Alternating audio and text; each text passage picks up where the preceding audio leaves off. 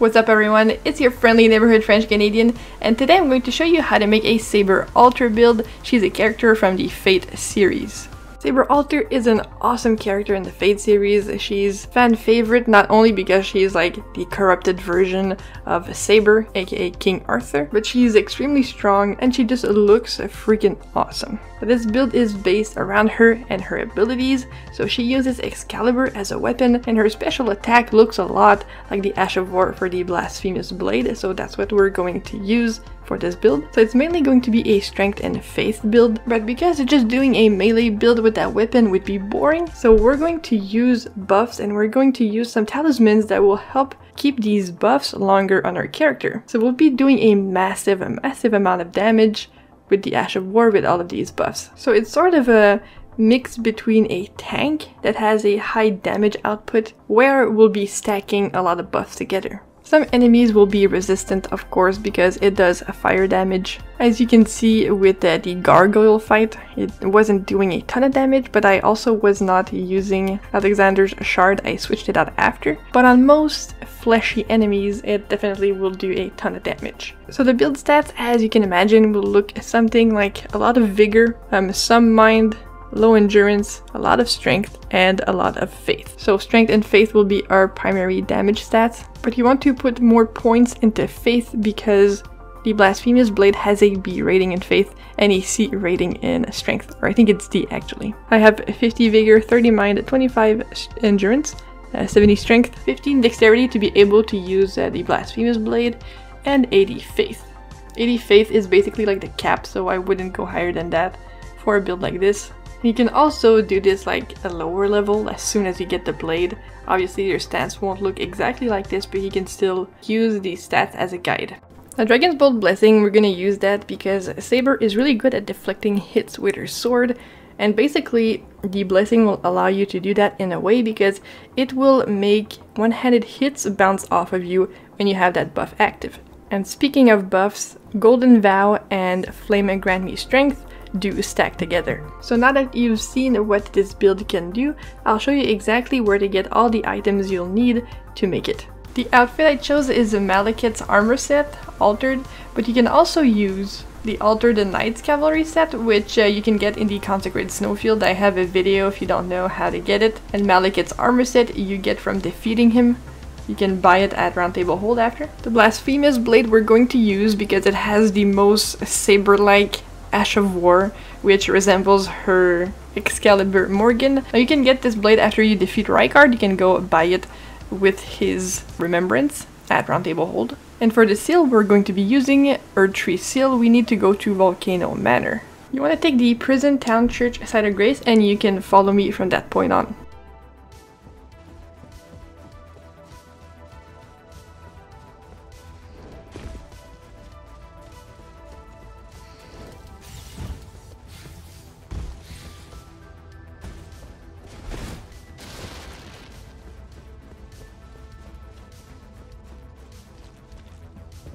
And you will find the seal on his body. For the first buff incantation we'll be using Flame Grant Me Strength. You want to come to Fort Gael North side of Grace in Caelid and just follow me.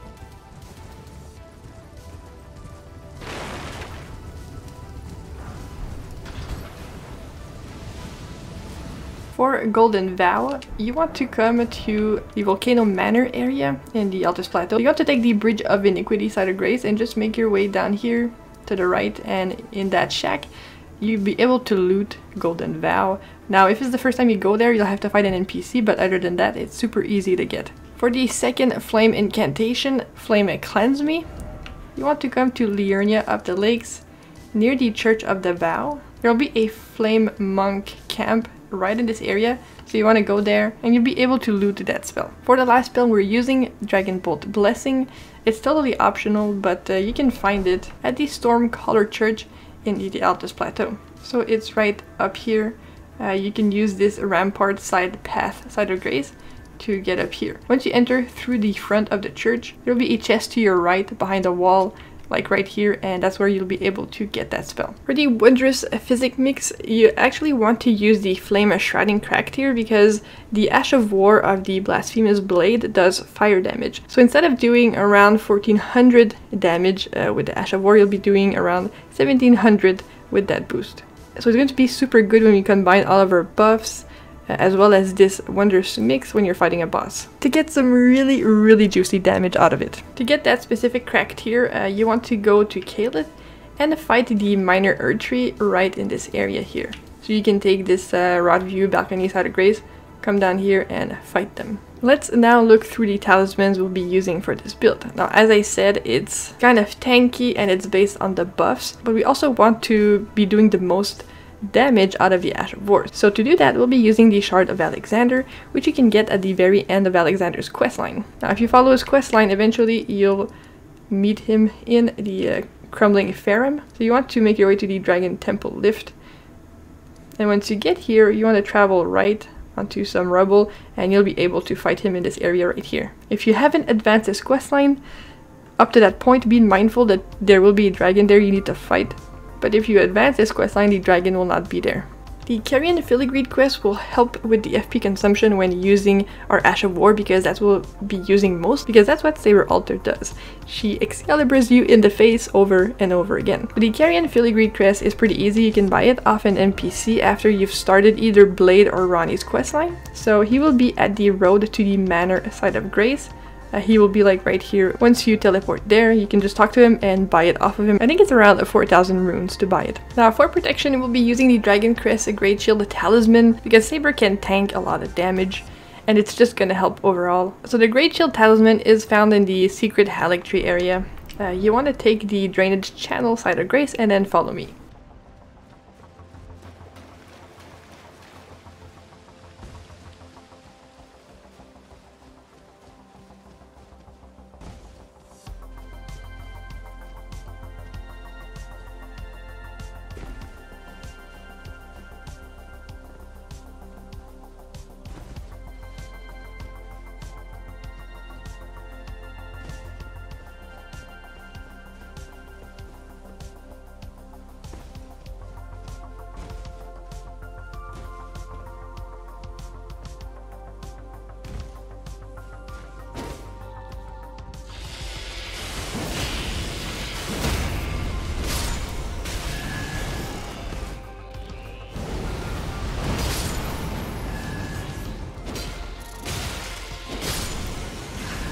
And once you fight all the enemies, the talisman will be in this chest. The last talisman we'll be using is Old Lord's Talisman. That talisman will make it so that our buffs will actually last longer, which is really good, especially for boss fights, so we won't have to continuously use our buffs and use FP instead of using that FP to do damage with our Ash of War. Now you want to make your way to the Crumbling Farum. Once you get here, you want to take the beside the Great Bridge side of Grace. And I'll show you where to go from here.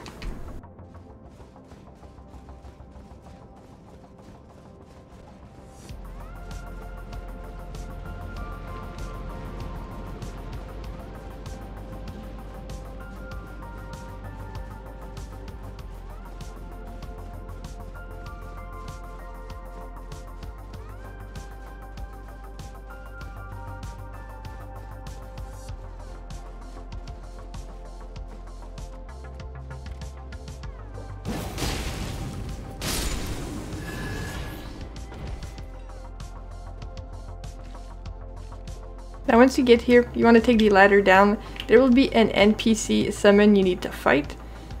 And uh, don't go too far in because there's like three big enemies um, in that building. So you want to wait until the summon pops up right here and then you fight him here.